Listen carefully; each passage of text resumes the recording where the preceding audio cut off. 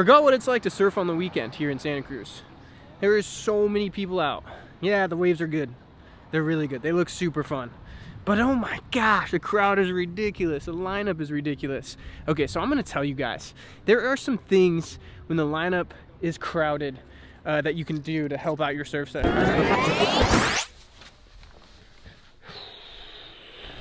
That's a problem. How we fix this problem?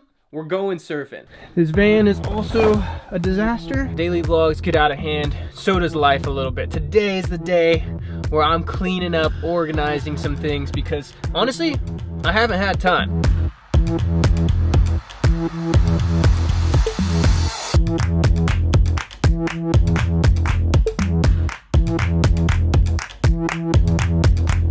So today, like, everything was telling me, don't surf it's crowded. so I walked around and I waited, I watched. I wanted to see where the waves are breaking. Um, I wanted to see where everybody was sitting. I wanted to see who was out there. I decided that uh, it was reasonable to go out and surf. And maybe I get a couple waves, not as much as I'd like, but it's manageable. So I think that would be tip number one, is check out the lineup. Tip number two, picking the right board for a crowded situation. Waves are shortboardable, they're rippable, they're big, they're fast. Those are the best waves. Am I gonna sit at the peak where everybody's sitting and wait for one set wave this whole session? Absolutely not. I'm gonna sit on the inside and I'm gonna take off on as many two foot poopy waves as I can with the hopes of maybe like three or four of them being really good.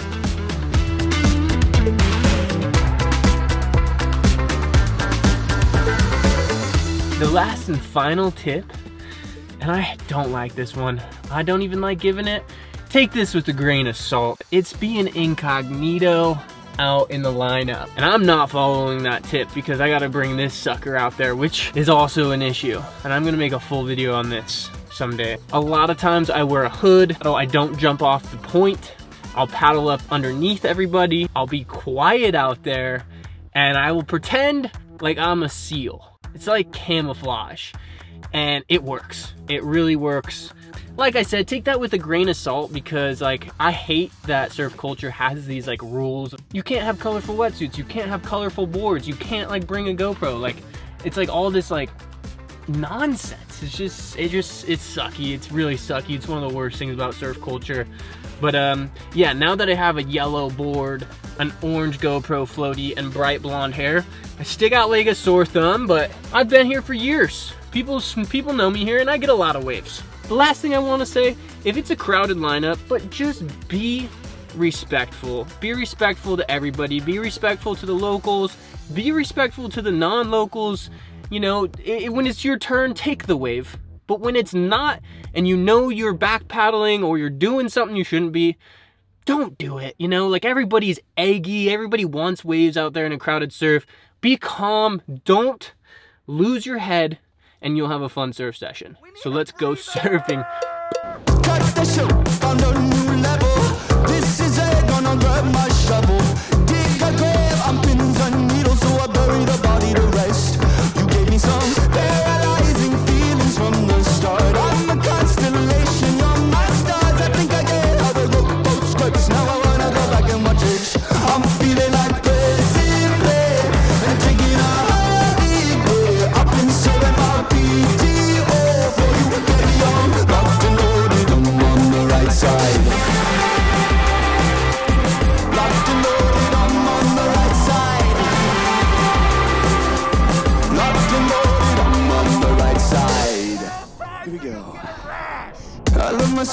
And brother and parents. And I'm over the moon that we're gonna be parents. Haha, I'm so unmistakably happy at last. Why did I try so hard before and fall on my I, I, I, I, Abby on guitar and I like that. Looking at Abby in the car when my brain's all mushing It's Abby on my mind and it's Abby. All the time I love Abby, social mother, my kids. Do you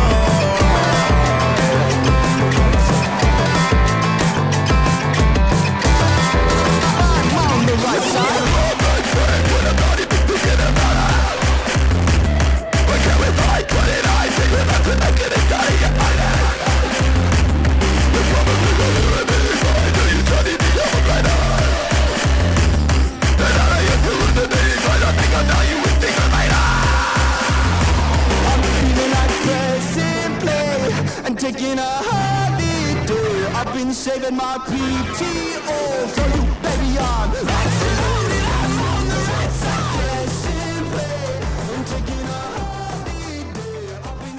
That was amazing. I love surfing. I could surf forever. Seriously. It is so, so much fun. That was my first, like, real feeling surf session of January. Like, catching a bunch of waves at Steamer Lane, just having fun, like, good weather.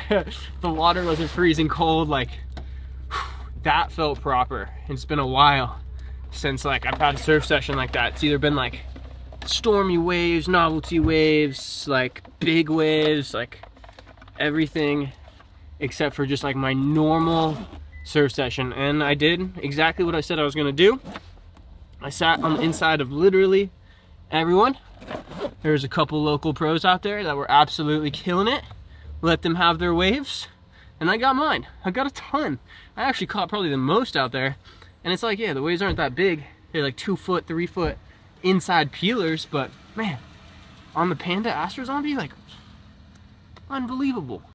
Now that's done, it's time to go to the gym, cold plunge, and clean up the house before Josefina gets home.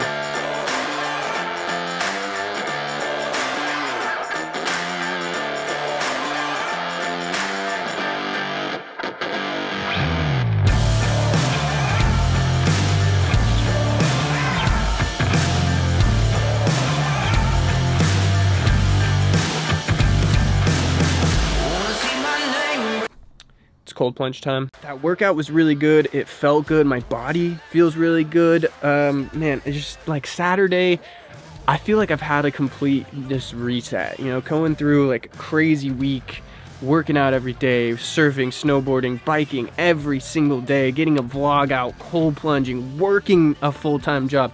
It's just been like so crazy. And then today was like the first day where it was just like it's so calm. Like I got that surf session in, which was so sick. Like so, so, so, so, so sick. And you know, when you get those surf sessions in, and why I literally love surfing so much is like that's a complete wipe of everything. Like that one surf session has completely changed my whole mood, my attitude, my thinking, like every single aspect of my life has improved since that surf session and it just felt so amazing. So this is day 17.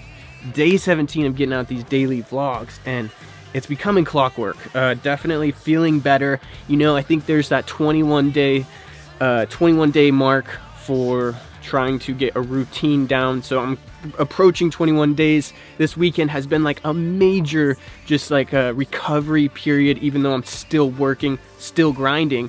I just needed that sleep. I needed that food.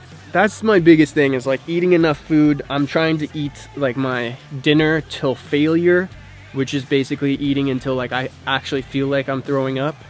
So even though that kind of like affects your sleep, I there's I put on zero pounds. I put on zero pounds. I mean, I feel I definitely have gotten like more muscular and denser, but zero pounds, and I weigh 174. The heaviest I've ever been. I was 20 years old playing college baseball, and I was 196 pounds. That's insane to me. That is 20 pounds heavier than I like am right now. So I need to be like I want to gain like at least you know from 174 I want at least six pounds by the end of 90 days.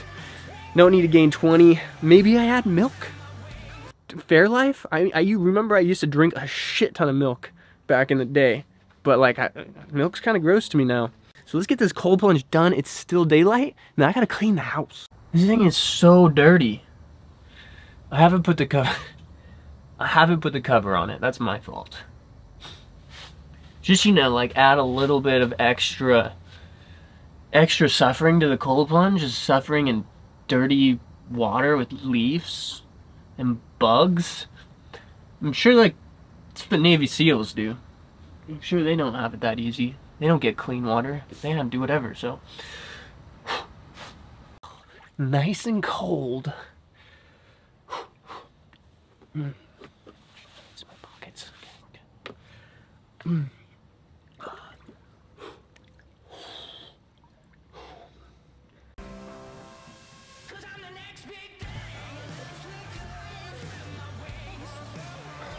Hmm. Alright guys. I hope you like this video. Make sure to like and subscribe. Because new vlogs dropping every day at 8 a.m. Cold plunge is freezing. The waves are still good tomorrow. Thank you, California. Probably gonna go surf again. So until next time, day 17. Done. Hmm.